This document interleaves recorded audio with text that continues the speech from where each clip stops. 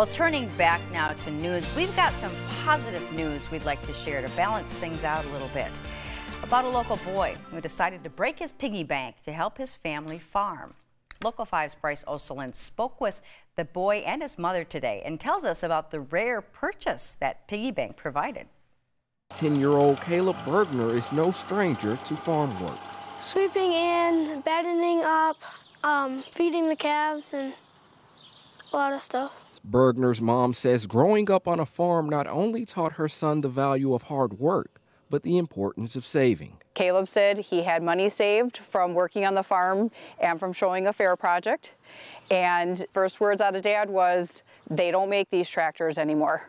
So we knew right then and there we were going to get the tractor. All that saving paid off. Bergner used his life savings to purchase an antique tractor a 1948 Cub tractor he bought from a neighbor for $2,800. It was like really shined up and I know that my dad got one uh, tractor when he was 12 years old, so I thought it was about time I got my own.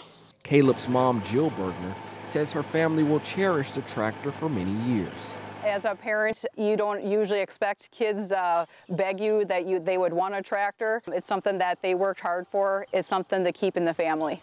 Caleb plans to use his new tool to help his family on the farm and encourages younger generations to be more frugal for items they want. Help your mom and try your hardest to save up. In Pulaski, Bryce Oselin, Local 5 News. Looking pretty comfy up there in that seat, Caleb. He's already starting to save again for his next purchase for his family farm.